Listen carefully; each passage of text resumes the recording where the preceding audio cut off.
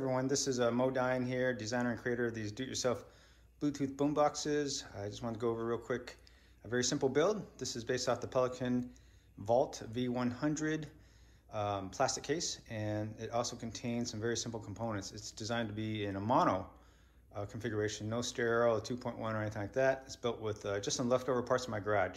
Uh, start with uh, start with a brand new uh, Pelican Vault V100 and it has a leftover six inch, maybe six and a half inch uh, polypropylene uh, cone from a B652 uh, Dayton Audio um, bookshelf speaker. So that's the uh, speaker with a Polk uh, audio six and a half inch grill that's just painted over. Uh, there's also a ribbon tweeter from China, don't know the brand. let's go inside in just a second here, just a standard battery capacity voltage meter. It's configured for uh, 6S lithium uh, batteries, 18650s, uh, with a power switch on top and a digital mute volume control on the outside. So I'll go inside real quick.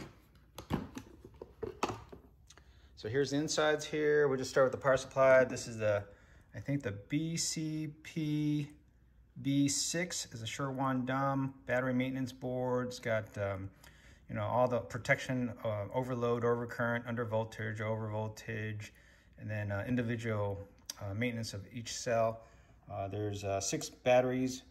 Uh, you can see that's right in here, but they're, but they're underneath. There's just one array, one set there. So um, a pattern, let's see, let's go over to the amp board. This is just a 25 watt per channel board. So there's 25 watts going to the woofer here, and then 25 watts going to the tweeter. Uh, but signal is controlled by a leftover APM2 Sure-Wondom DSP uh, stack here. Uh, there's two board levels powered by 5 volts coming in over here. That's just a 24 volt to 5 volt converter. And it does all the magic with uh, Sigma Studio. The programming is done. It's pretty simple. Uh, there's a Bluetooth uh, 4.0 Shure Wondom receive, uh, little transmitter there, Bluetooth, and I have my little mod there. It's just a four and a quarter inch solid copper conductor wire that extends the range out to over 100 feet on this uh, Bluetooth 4.0. And then uh, I've only used this a couple times. This is a digital volume control, really good specs on it, very clean, very low distortion, everything.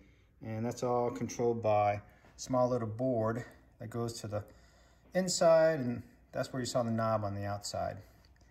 And I think that's really about it. I think I have a tiny little uh, 26, 24 volt to, I have, think I have it set up for 12 volts, either 12 or 9 volts, and it goes over to a tiny little, you can't really see it. It's got some red heat shrink on it, but it's a DC to DC isolator, and it goes over to uh, both the vo volume control and also the Bluetooth receiver. Anyway, that's the short end of it. Very quick summary of this little build. Pretty easy build. It just takes uh, maybe uh, maybe one day.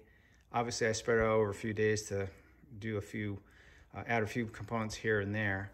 Uh, but the tuning, of course, took a little bit more than a day and everything. So on the outside, this little um, single channel Bluetooth boombox gets its charging from this port right here.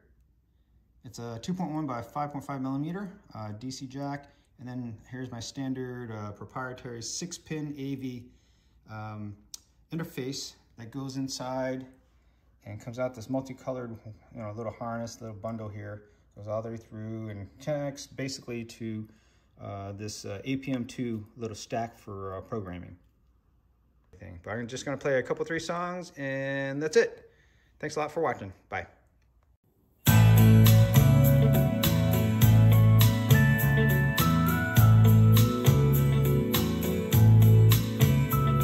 When the sun goes down on my side of town, that lonesome feeling comes to my door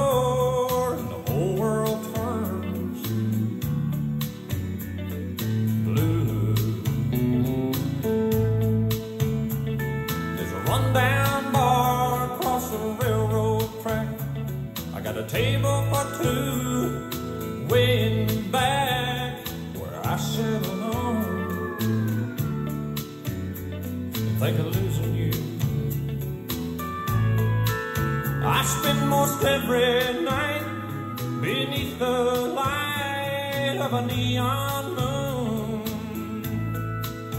Now, if you lose your one and only, there's always room here for soft mute, digital soft mute. Dancing.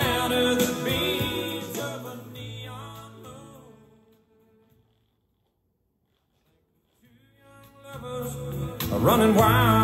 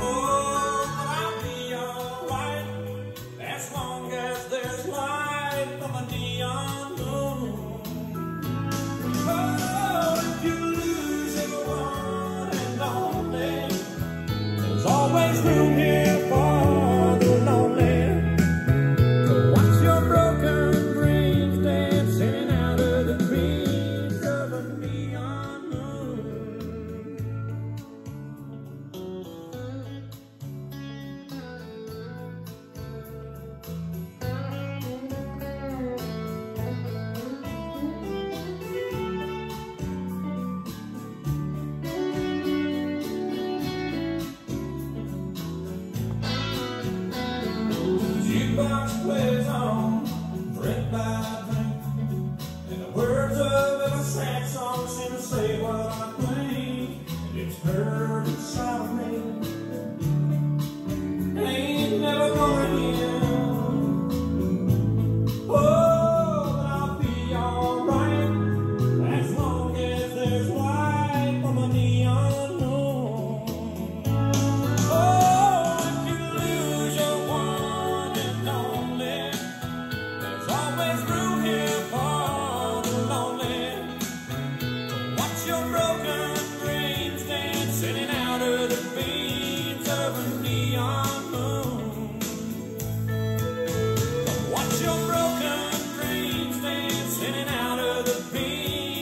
of a neon